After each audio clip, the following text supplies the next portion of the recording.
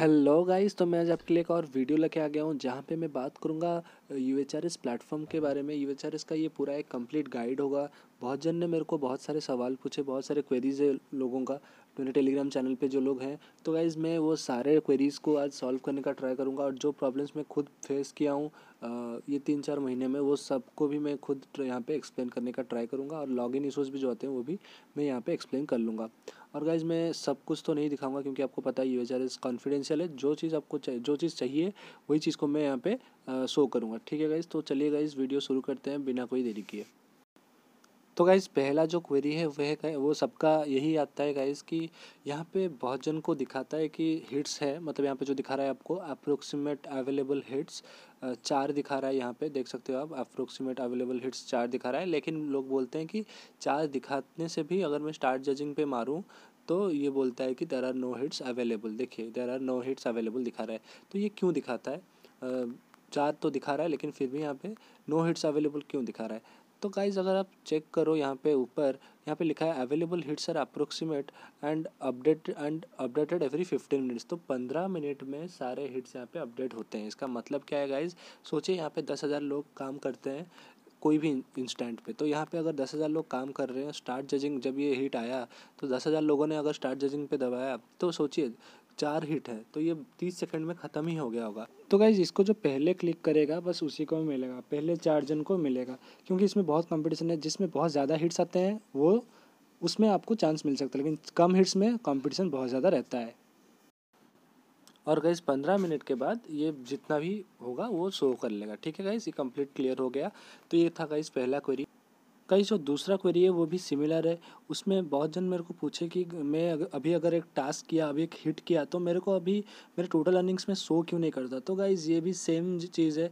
यहाँ पे ये जो रिपोर्ट है, ये एवरी ट्वेंटी मिनट को रिफ्रेश करता है। मार्केट ये याद रखिए मार्केट प्लेस जो है, जिस, जो टास्क वाले हैं, वो एवरी फिफ्टीन मिनट को रिफ्रेश करता है और जो रिपोर्ट है, वो एवरी ट्वेंटी मिनट्स को रिफ्रेश करता है। तो अगर आप अभी एक टास्क कर रहे हो तो ये बीस मिनट या पंद्रह मिनट के अंदर आपको शो कर देगा। ठीक है गाइज़ तो इसके लिए भी आपको पैनिक नहीं होना है। आपको टास्क करते रहना है और एक मैं एक एक अच्छा गाइडेंस आपको दे सकता हूँ कि अब जब भी आप टास्क कर रहे हो, एक दूसरे टैब में आप देखते रहो कि आपका एक्यूरेसी कितना है, क्योंकि जितना आप, ज़्यादा आपका एक्यूरेसी रहेगा, उतना ही अच्छा आप कर पाओगे, ठीक है गाइस तो ये था पूरा जो अपना सेकंड क्वेरी का सेकंड क्वेरी के बारे में।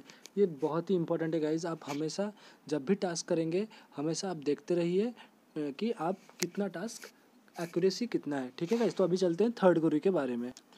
तो गाइज़ बहुत जन ने मेरे को पूछा कि यहाँ पे पर्टिकुलर हिटअप्स को क्वालिफाई नहीं कर पाए तो इस, ये पूरा मेहनत का खेल है गाइज़ यहाँ पे आपको मेहनत करना पड़ेगा। फिर भी मैं आपको बता दूँ क्या करता हूँ, मैं क्या करता हूँ स्पेसिफिकली हिटअप्स में क्वालिफाई करने के लिए। तो गाइज़ यहाँ पे आपको मैक्सिमम हिटअप्स को जज करने से पहले क्वालिफिकेशन एक एग्ज़ाम देना पड़ता है तो उससे पहले आपको करना क्या गाइज़ यहाँ पे क्वालिफिकेशन एक रहता है और एक गाइडलाइन आपको दिख रहा है गाइज़ गाइडलाइन तो गाइज़ मैं क्या करता हूँ, मैं हमेशा जो भी हिटअप्स का क्वालिफिकेशन देने वाला हूँ, उसका गाइडलाइन में हमेशा तीस, पंद्रह से तीस मिनट पढ़ता हूँ गाइस ठीक है? पंद्रह से तीस मिनट में स्पेसिफिकली उसका गाइडलाइन पढ़ता हूँ।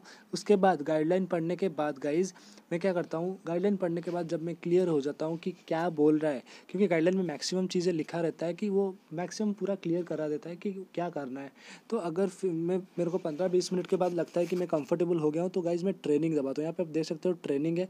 मैक्सिमम में ट्रेनिंग होता है, लेकिन किसी में किसी में रहता नहीं। ट्रेनिंग करता हूँ। ट्रेनिंग से क्या होता है, मेरे को और भी हेल्प हो जाता है, मेरे को और भी क्लियर हो जाता है कि ट्रेनिंग में क्या होता है जनरली वो आपको जैसे जो काम आप करोगे, उसी, वही, उसी टाइप का वो कुछ हिट्स देगा आपको और जो, जिससे आपका और भी क्लियर हो जाएगा। उसके बाद गाइज़ अगर ट्रेनिंग भी नहीं दिखाता तो प्रीव्यू रहता है बहुत जन में बहुत हिट हाउस पे। तो आप प्रीव्यू पे क्लिक करके भी एग्जाम्पल्स आप देख सकते हो।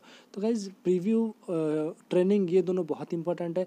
उसके बाद अगर आप पूरा क्लियर आपको लगता है आप कॉन्फिडेंट हो जाते हो, आपको लगता है आप क्लियर कर दोगे, उसके बाद ही आप क्वालिफिकेशन पे जाओ, क्योंकि क्वालिफिकेशन आपको तीन बार मिलता है। और गाइज़ एक बार मैं बोल देता हूँ, ये वीकली चेंज नहीं होता। है अगर आप एक एक बार क्वालिफिकेशन डिस्क्वालीफाई हो गए तो आपको पूरा अगर डिस्कवालीफाई हो गए तो वो कभी नहीं मिलेगा। ये नहीं कि ए वीक हो गया तो नेक्स्ट वीक मेरे को फिर से मिल जाएगा, नहीं मिलेगा आपको नेक्स्ट वीक पूरा हर दिन के लिए वो बैन हो जाएगा, ठीक है गाइज़ तो ये ध्यान में रखिए, जितना भी ध्यान से हो सके उसको आप क्वालिफाई करने का ट्राई कीजिए। प्रीव्यू और प्रीव्यू हो गया, आपका ट्रेनिंग हो गया गाइडलाइन ये तीनों बहुत ही इंपॉर्टेंट है, उसके बाद ही आप क्वालिफिकेशन एग्ज़ाम दीजिए, ठीक है? और ये मत सोचिए कि अगर मैं क्वालिफाई ये तीन हज़ार हिट्स आया है, मैं इस बार अगर क्वालिफाई जल्दी जल्दी से क्वालिफाई करके मैं यहाँ पे काम करना चालू कर लूँगा। तो गाइज़ ये भी आपको सोचना नहीं है, क्योंकि जल्दी से अगर आप काम करने जाओगे तो ये बात एक बार सोच लीजिए, अगर आप जल्दी के काम करने के लिए सोचोगे तो मोस्टली क्या होता है ना, आप आपका रहता है दिमाग में, अगर मैं क्वालिफाई जल्दी नहीं करूँगा तो मिस कर लूँगा। तो भाई ऐसा कुछ नहीं रहता। आप अगर इस बार क्वालिफाई कर जाओगे तो वो सोचो नेक्स्ट टाइम से कभी आपको क्वालिफिकेशन देना ही नहीं पड़ेगा। क्योंकि नेक्स्ट टाइम से अगर ये हिटअप आता है तो आप आराम से सीधा स्टार्ट जजिंग कर पाओगे।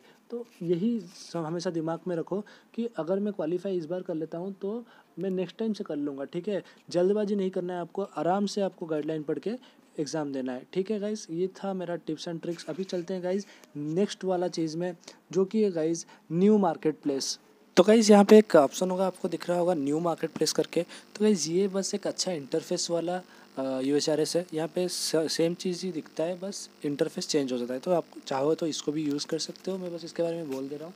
और यू नॉर्मल यू एस को भी यूज़ कर सकते हो। तो मेरे को भाई old U H R S ही अच्छा लगता है तो इसलिए मैं उसको यूज़ करता हूँ।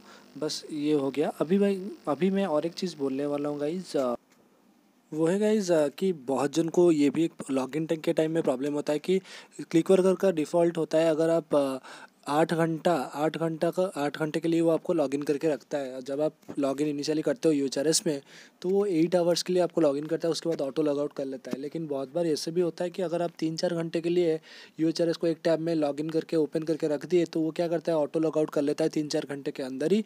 उसके बाद क्या करता है, आपको साइन इन पेज दिखाता है। और अगर आप उधर ही साइन इन पे क्लिक करते हो तो वो दिखाता है कि और अकाउंट हैज़ बिन डिजेबल्ड और डिजेबल आई करके कुछ दिखाता है, जिससे आपको लगता है कि गाइज़ कि आपका अकाउंट तो गया ही गया। लेकिन वहाँ पे कुछ भी प्रॉब्लम नहीं हुआ है। आपको यहाँ पे क्या करना है? ये एक छोटा सा बग है गाइज़ आपको करना क्या है? आपको एक नया ब्राउज़र ओपन करना है। नया ब्राउज़र पे आपको अपना क्लिक वर्कर अकाउंट पे ओपन करना है और यूएचआरएस को ओपन करना है।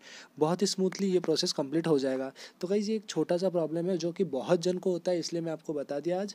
और गाइज़ और एक प्रॉब्लम भी होता है गाइज़ कभी कभी क्या होता है, क्लिक वर्कर ओपन होते होते टाइम बहुत ही स्लो हो जाता है तो वो वाला प्रॉब्लम के लिए आप कुछ कर भी नहीं पाओगे। उसके लिए आपको बस वेट करना है, कुछ देर के मतलब दस पंद्रह मिनट लग जाता है बस लोडिंग होते होते, और वो आपका इंटरनेट का कोई इशू नहीं होता है, वो क्लिक वर्कर में कभी कभी बहुत सर्वर लोड हो जाता है बोल के होता है।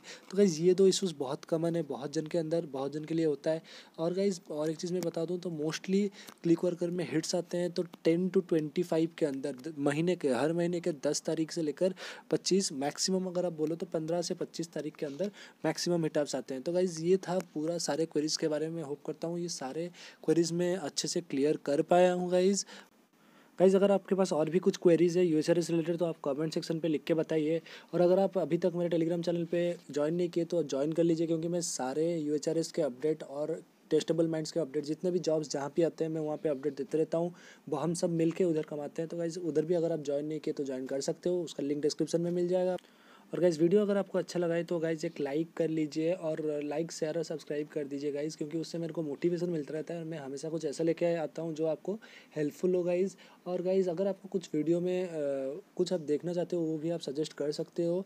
डिस्क्रिप्शन में मैं उसको ज़रूर बनाने का ट्राई करूँगा. और गाइज़ नेक्स्ट वीडियो आने तक bye bye guys take care and guys happy earning